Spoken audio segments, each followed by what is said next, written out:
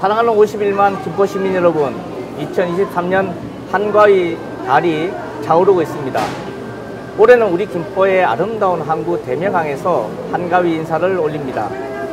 삶의 활기와 정겨움이 가득한 이곳 대명항의 정치가 민족 대명절 한가위를 닮았습니다.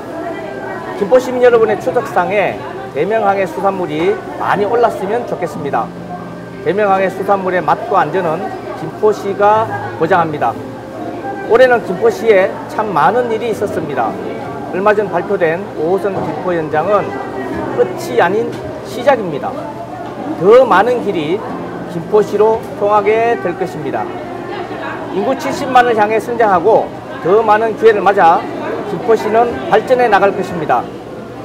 이 발전이 김포 시민의 삶에 가져다 줄 긍정적 변화를 생각하며 더 바쁘게 뛰겠습니다.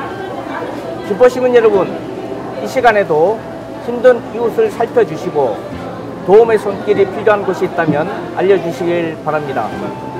우리 김포시도 시민 여러분이 가족과 함께 안전하고 행복한 한가위 보내실 수 있도록 추석 연휴에도 두루두루 시민의 안위를 챙기도록 하겠습니다.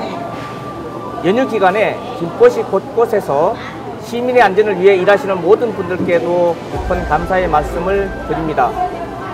모두가 같은 한가위 보름달을 바라보고 소원을 빌며 마음이 통하는 한가위 보내시길 소망합니다. 가정의 건강과 행복 가득 하십시오.